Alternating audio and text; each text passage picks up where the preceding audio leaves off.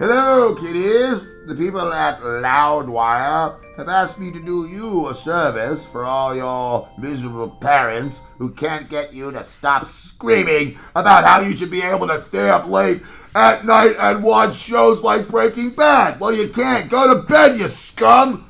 Now I'm going to read to you, so you go to bed. As I read to you, you will find yourself becoming more and more tired. My only hope is that I do not make myself fall asleep as I read this story. I don't know much about it, but I've been assured it's a real yawn fest. So, without any more further ado, do let's get on with Goodnight Moon.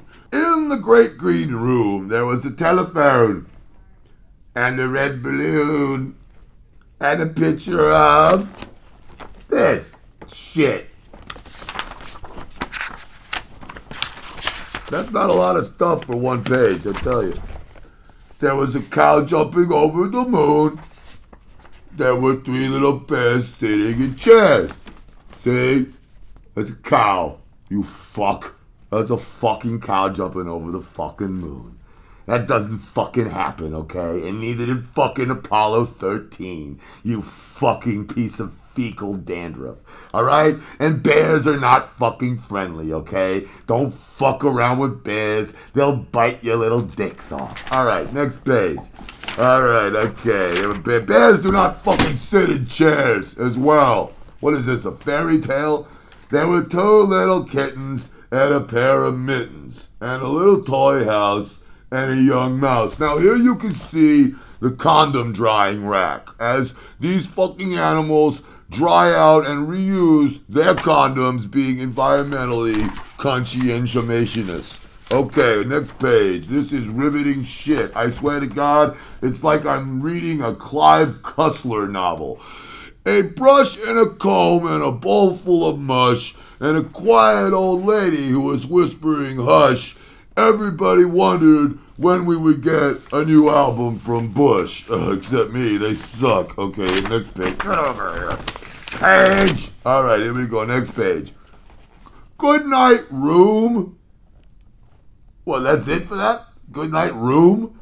Good night, room. Good night, room. What kind of kid lives in a room like this?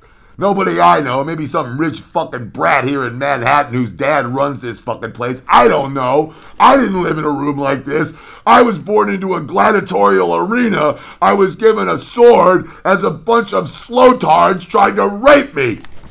Either be raped or kill. That's not my room. Good night, moon. Good night, cow jumping over the moon. We went over that part already. That shit is bullshit. Good night, light and red balloon. Good night, bear. Good night, chairs. You can see how this is working up to a blistering conclusion. At this point, the little kid pulled out his dick and he started beating on it like a candlestick.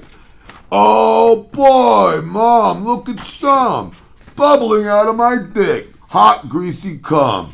I'm having an organism. I don't even know why. Brother told me I started to cry. Good night, kittens. Good night, Mom. I'd say good night to Dad, but he got killed in that car wreck.